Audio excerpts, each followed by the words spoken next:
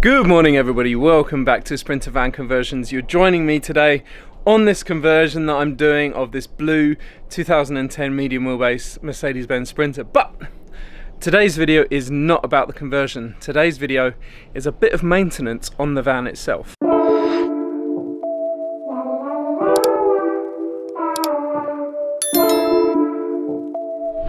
Oh yes, welcome back to the channel everybody. Thanks again for joining me here on YouTube. Don't forget to like the video, subscribe and turn on notifications if you'd like to be kept up to date with all of our videos going forward. But until then, today we are doing the front brakes on this uh, Sprinter van. It's a job that I've done before, but it's not a job that I've ever documented before, so I'm excited to share it with you. There's a few little tips and tricks uh, that will help you do it if you are looking to do the brakes on your own Sprinter. So as you guys know, we're not actually going to be keeping this Sprinter for long. As soon as I've converted it, I'm going to try and sell it. But I knew when we bought the van that the, the brakes needed replacing right from when I bought it. And even though it's got an MOT and even though it does drive and stop, um, just for peace of mind and for the future owners, whoever they are, we just wanted to replace the brakes so that we know that it's safe and uh, that it's going to stop when you put your foot on the pedal. So obviously we're going to need some bits to do this job.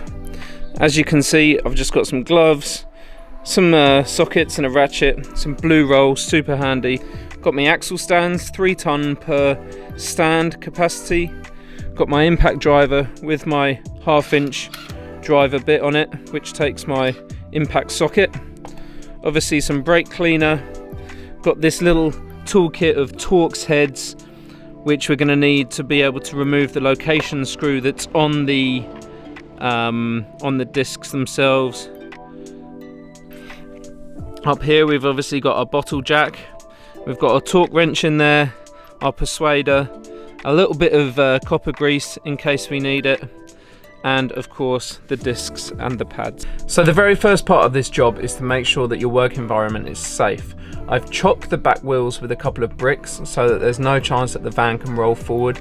We're on such an ever so slightly incline on our driveway. I did that so that the water runs off when I built the driveway. So number one thing is to make sure that the van's not gonna go anywhere. Now the handbrake's really good on this van and it's in reverse gear, so really it shouldn't go anywhere, but just belt and braces, chock the back wheels. The next thing that you're gonna wanna do is to uncrack, I would call, the, the, the bolts on the front wheels. That's before you jack it up in the air, because once you jack up a rear wheel drive vehicle in the air, there's no chance that you're going to be able to undo those nuts without the front wheels spinning. So while the wheels are still on the floor, make sure you uncrack the bolts on the front wheels.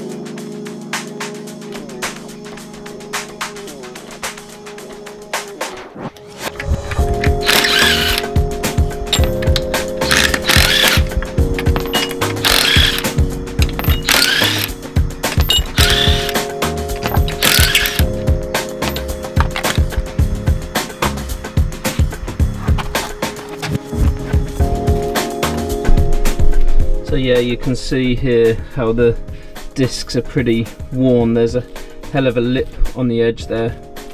Yeah, there's probably two or three mil on the inside and on the outside. I'm not sure what the inside of the disc is like. I'm not sure if you guys can see that. It's pretty even wear, I would say, but yeah, again, another lip. Really glad that we're replacing these brakes.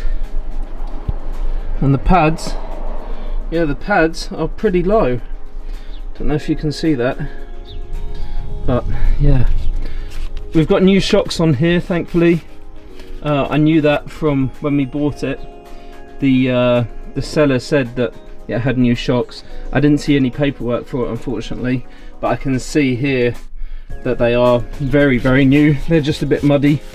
So really really pleased about that. No shocks. Having to be replaced um, although this is a bit annoying because they could have put a new shock cover on but it looks like this has got an integrated cover here unless that's no that's just slipped out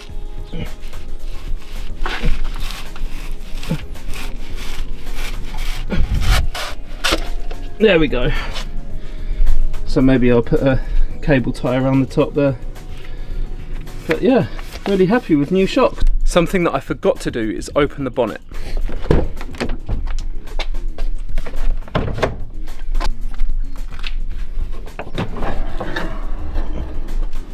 And why am I opening the bonnet? Because this is the brake fluid reservoir and I need to take the cap off that to allow the pressure to go up and down within the reservoir. You can see that the reservoir looks quite new and all of this looks quite new but then again the van's not done many miles so maybe it is original but I'll take that off to allow the fluid level to go up and down as I'm playing with the calipers putting the new putting the new pads in. Always be careful with brake fluid because it's a really severe paint stripper so you don't want to get it anywhere.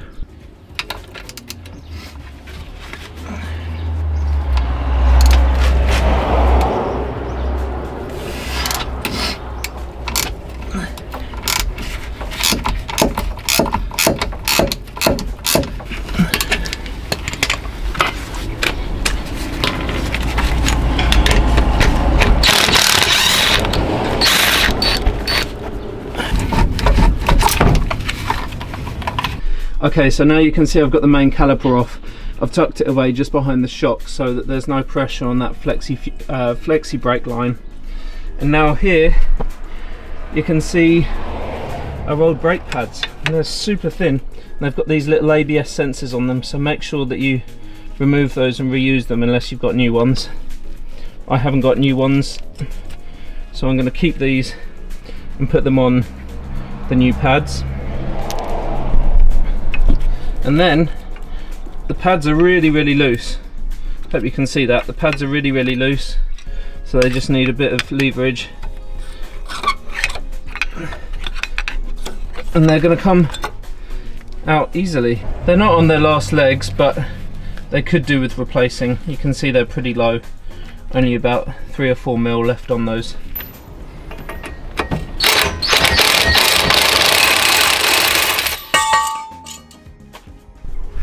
Now then, the next thing to do is to undo that nut. So I need my 30 Torx bit to get that undone.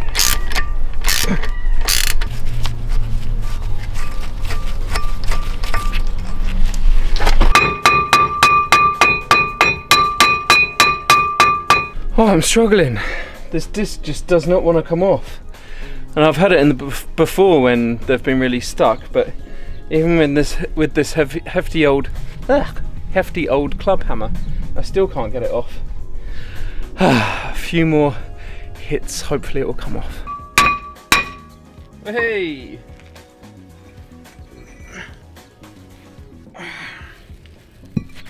Super glad I got that off.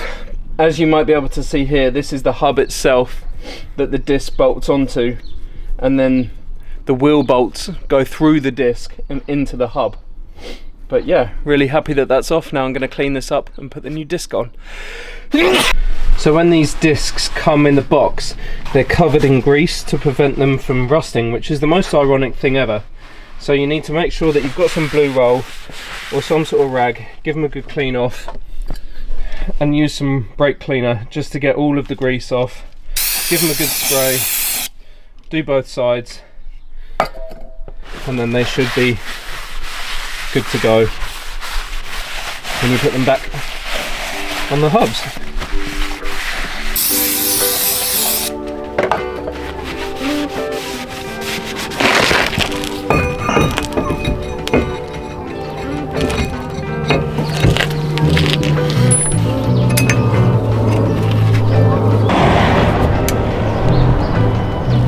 One doesn't have to be too tight, just nip it up.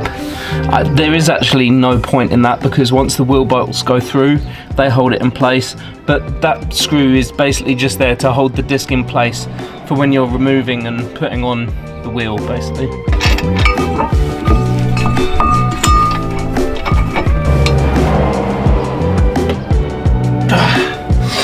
So here you can see the difference between the old and the new disc. it's quite a bit different, isn't it?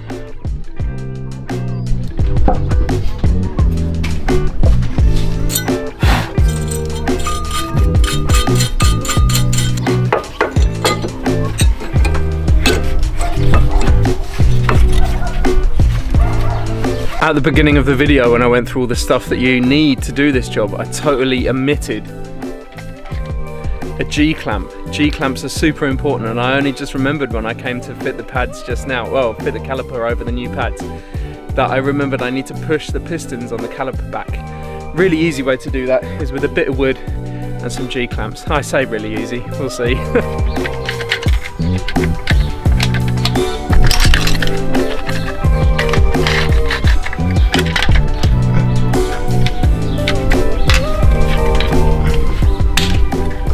So now the pistons are really pushed back into the caliper. I should be able to take these G-clamps off, take the bit of wood out, and it should slide, slide straight over the new pads.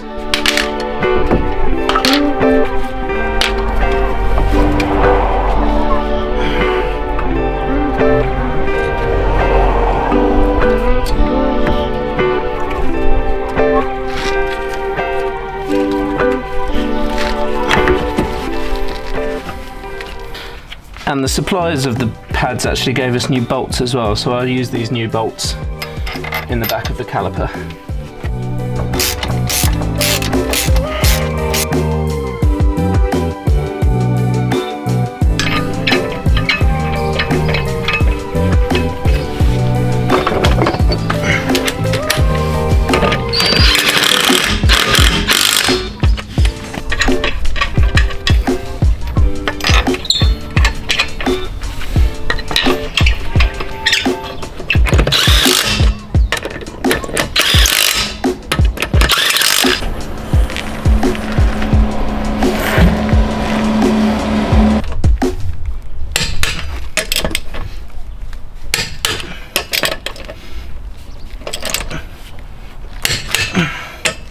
Oh yes, thanks again for joining in today's video everybody.